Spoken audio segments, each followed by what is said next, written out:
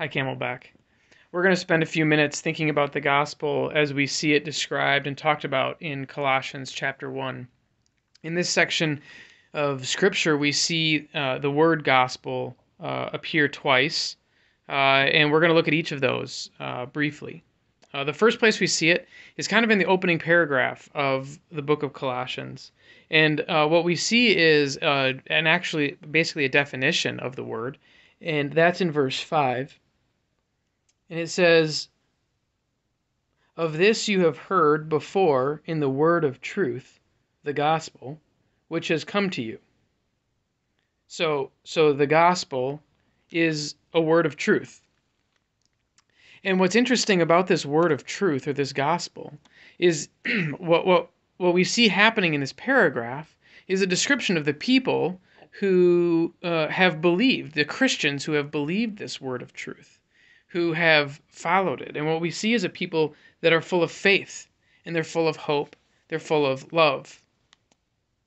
We see that um, Paul is talking to them and, and he says he's heard of their faith in Christ Jesus and the love that they have for all the saints. And we see that um, uh, they have hope laid up for them in heaven because of these things. And then we go on to see uh, that that this same word of truth is bearing fruit in all the world, and it's increasing. So we see this really vibrant picture of a Christian uh, family, a group of people who believed the word of truth. They had faith in Christ and believed the gospel and the vibrancy and the life that comes from it. The second place that we see the word gospel is later in the chapter, and it's very interesting to read the contrast.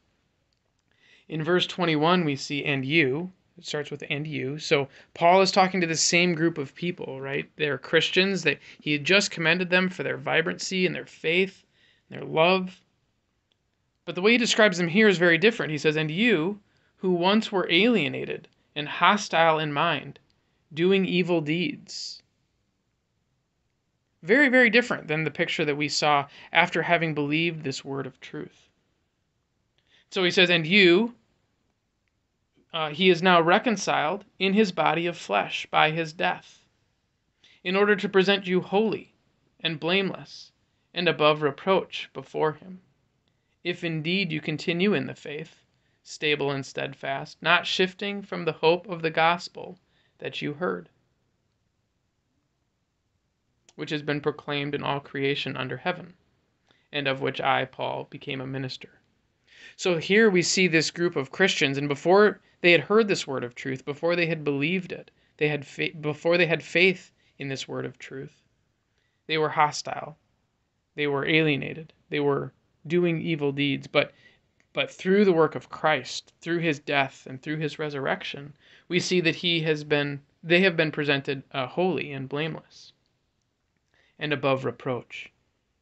And then ultimately what we have what we already saw was that that the change, the, the the the change that was exhibited in their life was was amazing. And it was spreading throughout all the world. Here we see that this word of truth, this gospel, this good news of what Jesus has done to reconcile us, to forgive our sins by his death and resurrection, brings a changed heart, a changed life. It brings a changed vibrancy it brings us hope and faith and joy and love, like we see in, uh, in this first paragraph. So let's take a minute to think about what this word of truth means for us. We want to be a church at Camelback that is known, uh, just like Paul knew these Christians uh, in this paragraph, where he had heard of their faith in Christ Jesus and the love for which they had for all the saints, and the hope that was laid up for them in heaven. We want to see the truth of the gospel go forth into all the world and to bear fruit. We want to see that fruit in our own hearts. We want to see that fruit in our families. We want to see the gospel be known in our city in, in our neighborhoods, and we want to see the gospel known in the world.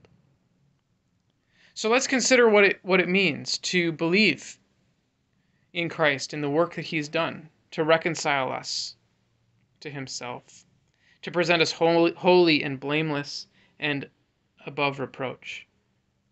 The gospel means that we are forgiven, and it means that we have life and hope uh, and faith within us.